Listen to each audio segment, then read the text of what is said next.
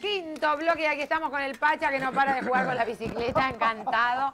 Esteban hoy vino Espivo a visitarme. Qué bueno. Me bailó el ska de la ¿Qué te vecina, me encantó. Aparte es re up. Es re up. Bueno, te quiero agradecer Y bien la de la buena onda, como siempre, hermanado nosotros en todo momento, la promoción que me has dado de mi espectáculo. No, pero aparte porque está bárbaro y a mí me, yo me siento orgullosa de poder promocionar cosas que son buenas. Y yo sé que lo que vos haces está bárbaro, como está bárbaro nuestro Colores, nuestro Yo Soy Colores en el teatro, que es un Vos placer. sos muy humilde, sa- ¿saben ya que sos, el, eh, pasé por Argentores el otro día? Sí. Sos la primera en recaudación. De todos los De teatros. todos los teatros de chicos y de grandes. Bueno, y de paso, ya que Esteban lo dice, voy a decir que hay unas revistas muy famosas como el People y Noticias que publican mal porque ustedes publican por los empresarios teatrales que tienen tres teatros y dan solo las recaudaciones de sus teatros.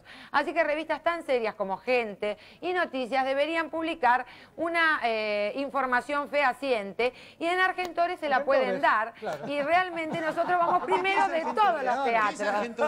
Eh, La Asociación. Argentina de Autores. que- Melo y Callao. Ahí tienen la información real porque los empresarios son dos, son el señor Rottenberg y Gallo y solamente ellos tienen como siete, ocho teatros y dan solo la información de sus teatros. O sea que me parece que está bastante mal, ¿no? ¡La rubia al poder! ¡La rubia al poder! Así que se pueden informar bien eh, y hay fuentes donde informarse, ¿eh? No solamente los teatros, sino en Argentores que seguramente no les van a negar información. No hace falta que sean las, las recaudaciones, pero sí la cantidad de espectadores.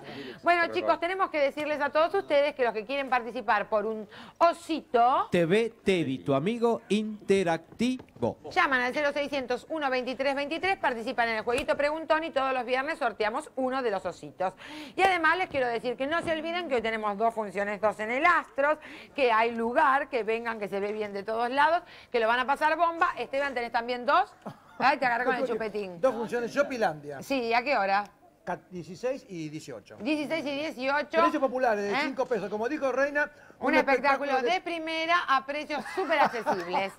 Bueno, ¿qué más tenemos para comentar? ¿Qué dice mi chupamedias? Acá estamos todos muy bien, no tengo micrófono. ¿Todo muy bien? El chupamida se quedó sin micrófono. ¿Cuántas funciones hay hoy? Ahí está Hugo Gómez. Dos a las 15 y a las 17. Vengan, vengan a las.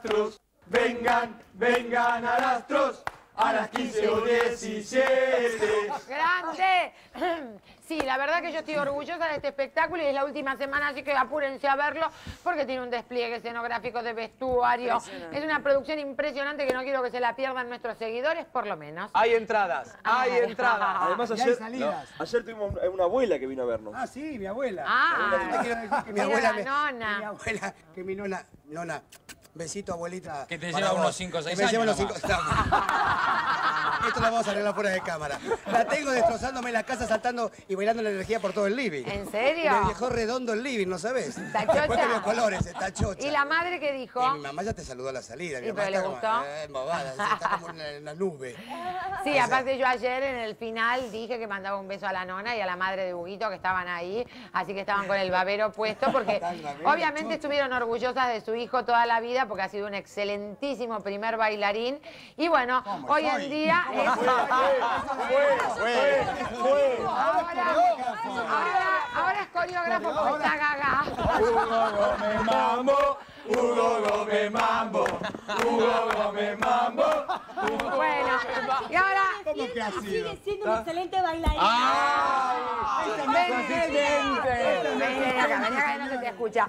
Ella, como es la asistente de coreografía, Sí. la chupa medias personal. Claro, pobrecito, sigue siendo un excelente bailarín. Es muy gratificante. Miren, cuando Valeria. Hugo, cuando a nosotros algo no nos sale, Hugo no te muestra la coreografía que tenés que bailar, se pone a hacer triple pirueta, lo que nadie puede hacer, salta por el escenario, después le agarra un ataque de asma, pero él se pone a bailar como un loco. Tengo el pulmotor a mano, bien. Bueno, ahora todos juntos le decimos...